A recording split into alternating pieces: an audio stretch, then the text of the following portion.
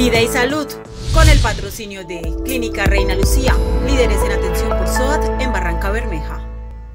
Este miércoles 6 de octubre las autoridades informaron que no hubo fallecimientos por COVID-19 en la ciudad. Sin embargo, se notificaron nueve casos nuevos y ocho personas más lograron recuperarse. En el distrito hay activos 64 casos de COVID-19. Ocho de ellos están en las unidades de cuidados intensivos.